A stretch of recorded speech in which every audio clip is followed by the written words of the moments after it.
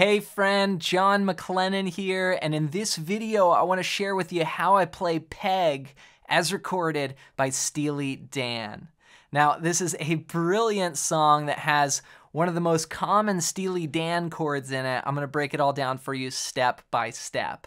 There's four parts, but keep this in mind that these are advanced chords and this is advanced harmony. It's almost like playing a jazz standard, but the brilliant part for me with Steely Dan was they were able to take all this incredible music and amazing chord changes, but then write a pop song that people could just sing along with. And I think that there's very few artists that could actually pull this off. People like Stevie Wonder would be another person who could do it. But let's get straight into it here. We're gonna start off with the intro progression. Now this is just a pattern. It starts on a G major nine. And I'm playing, starting on the fifth string, 10, 9, 11, 10.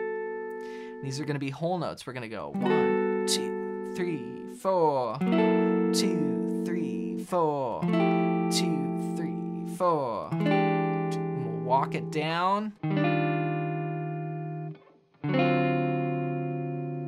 Okay, so all this is is a pattern. We're starting on that G major 9, and then what you do is you move these two fingers down one fret. So keep those there, your middle and your index, and then these two fingers actually trade strings.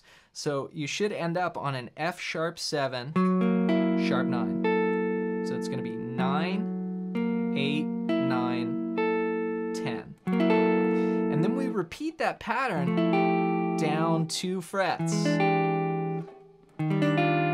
Walk it all the way down. So it's G major 9, F sharp 7, sharp 9, F major 9, E7 sharp 9, E flat major 9, D7 sharp 9. Then we kick into this groove, we go.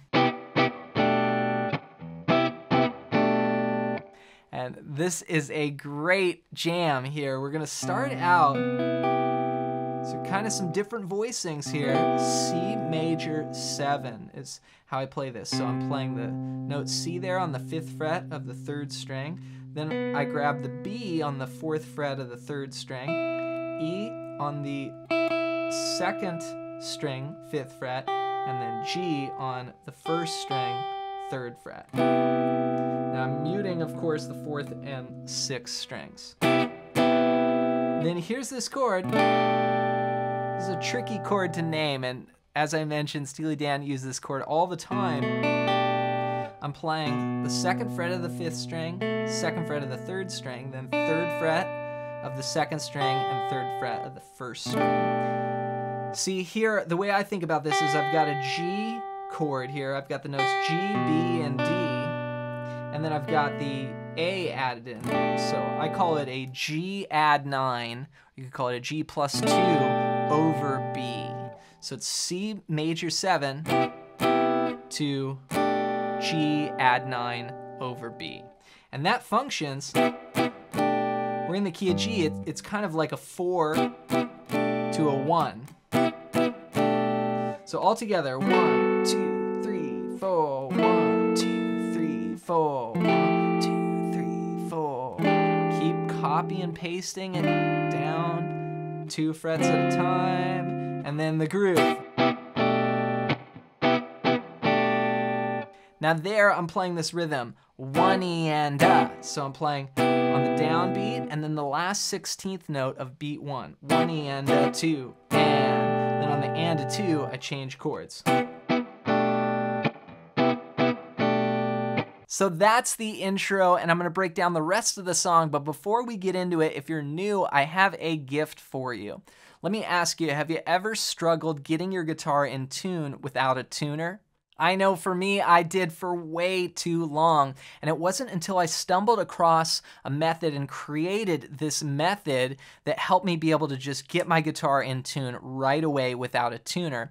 And so what I did was write it down in just a simple five step process on a PDF guide. I want to give it to you completely for free. It's very didactic. It's just here step one, step two through five. And it shows you how you can immediately start improving your ear and basically fix this problem. That's the goal is I want you to be able to have a guitar that's out of tune, grab it and get it in tune right away without a tuner. You're tuning the guitar to itself. And this isn't the typical method that you'll see. In fact, I explain in the PDF. I talk about the typical ways and then I show you why the way that I do it is better.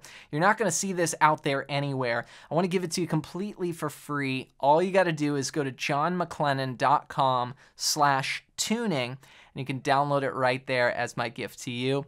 And always get your guitar right in tune. All right, so after this intro section, then we get into basically a 12 bar blues with those chord changes I was just showing you. So let me explain. So we start on that C major 7 and we go to the G add 9 over B and we actually play four bars of that figure.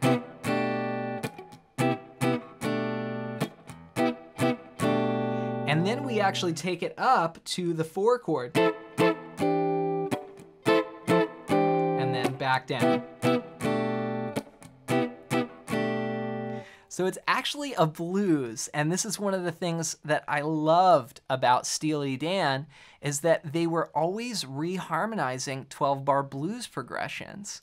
And that doesn't sound anything like a blues where you would, you know, might do something like that, but here we got these cool jazz changes. We play it four times here on C, then go up to F major 7, which is 8, 9, 10, 8, to C add 9 over E, that's 7, 7, 8, 8, and then back down. And it's really, it's if you're in the key of G, that would be the 1 chord here, and then the 4 chord here. Then when we get to the last four bars, we would bring in the five down to the four down to the one, just like a typical 12 bar blues. And the way Steely Dan does it in this song is.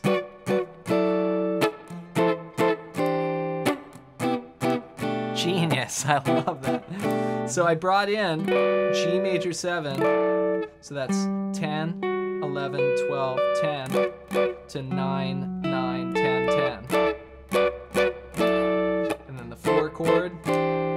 back to 1. Then it goes again. So here's the entire verse, and this is where the lyrics come in. I like your picture. Here it is. One, two, three, four. Four times. Up to the four chord. Back to the one chord. And five chord. Home to one. From there, we move on to the chorus, and the chorus actually starts on the same progression, but we're gonna mix it up on the second half of it, and this is where they sing peg. Here's what it sounds like. Three, four.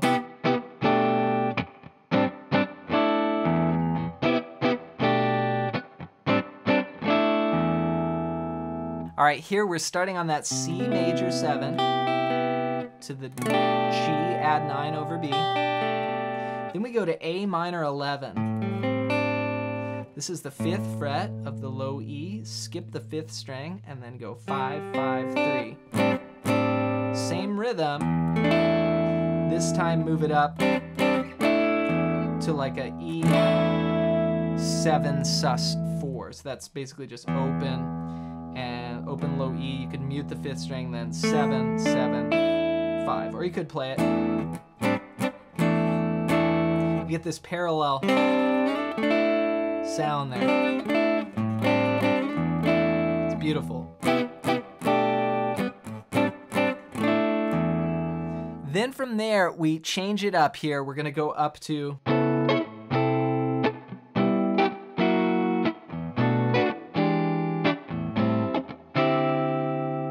So good. Now this gets a little complicated here. We've got a A, we've got basically this chord. That same chord that we were playing in the, in the blues figure. Here we're doing it with an A with a C sharp in the bass. So you could, it's basically this. You could do it here with the thumb, nine, skip the fifth string, then nine, nine, ten. Then to C6, this is the eighth fret of the low E string, then mute the fifth string, 10, 9, 10. Then you go to a G6, which is 10, 9, 9, 8, starting on the fifth string, and then F sharp 7, 9, 8, 9, 7. So that would be like this.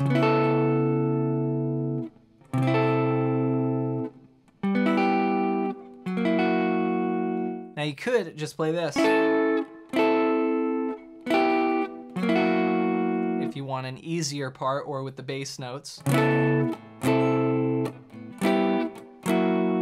Then B minor 7. I do that with the thumb a lot of times. 7. Mute the fifth string. 7, 7, 7. E7 sharp 9. It's from the intro, right? And then A minor 7.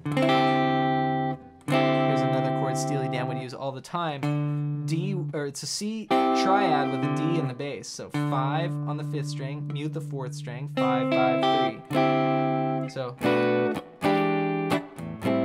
and then back to the figure. So here's the entire chorus played as one piece. Again, the lyric cue here is peg. One, two, three, four.